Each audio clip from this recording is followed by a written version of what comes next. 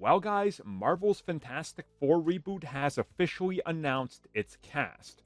On top of this, we officially now got the film delayed, but I've been telling you guys this was going to happen, and now we know it's coming July 25th of 2025.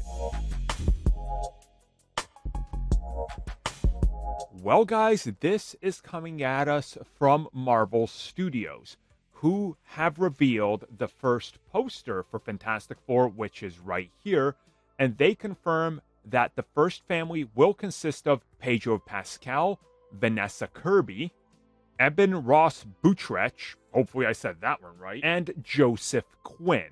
Now, obviously, many of these names have been rumored. Now it's confirmed. If you look at this, you obviously understand the style that they're going for and what we're seeing here and of course the new release date of July 25th of 2025.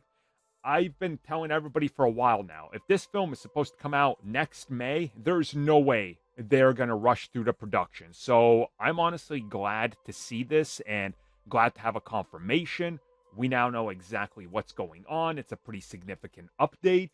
We, of course, can, I think, get a lot from this poster right here because I mean, think about it. Look at the aesthetic. Look at what they're going for. I think uh, the popular, hey, why not rip them out of the 60s? That, my God, I still can't believe I did that like a decade ago almost. Here we are now, and um, it looks like it's going to happen. Now, of course, there's still quite the ways go till they officially are into full production. We're getting tons of leaks, which will happen, but here's the cast, and um, it's all smooth sailing from here, I hope.